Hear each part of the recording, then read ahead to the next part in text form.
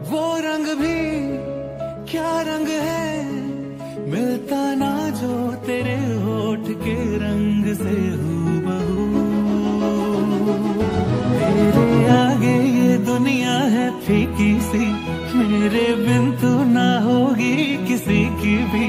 अब ये ज़ाहिर सरे आम है